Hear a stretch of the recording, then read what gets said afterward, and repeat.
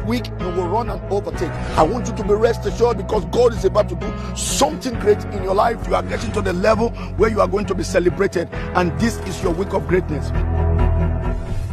God bless you. My name is Prophet Ige Kelly Saibovo. By the grace of God, I'm the presiding pastor of Word of Life Bible Ministry, Pembroke Pines, Florida. I just want to welcome us to this wonderful week. This is a week of abundant favor, abundant grace. This is our week of breaking barriers.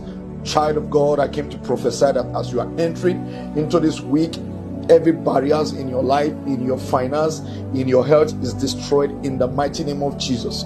I decree and i declare as a prophet of god that as you step into this new week the week of breaking barriers every high holding you down every plans of the enemy trying to stop you is destroyed in the mighty name of jesus I see God breaking barriers in your life, in your finance, in the mighty name of Jesus.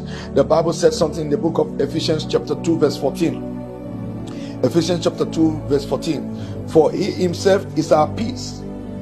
He who made both group in one and broke down the barriers of the divine walls.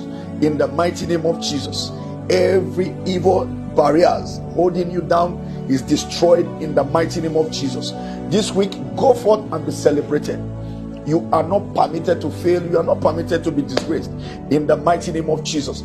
Child of God, know this. Have this at the corner of your mind that this week you are a barrier breaker. You are a barrier destroyer. I don't care to know the barriers that have held everybody down. This week you will go and break those barriers. God will make a way for you when it seems to be no way. The barriers on your health, on your finance, on your breakthrough, on your academics. In the mighty name of Jesus, this week God is breaking those barriers. You are not permitted to lack in the mighty name of Jesus.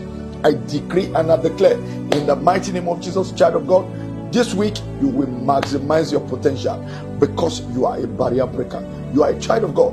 I want you to please use this video in all your social media platforms, share to your friends, share to your family, share to all your loved ones. I strongly believe that there's somebody that need this word. The Bible said he sent his word and he healed them. To send this word to somebody and let it heal somebody.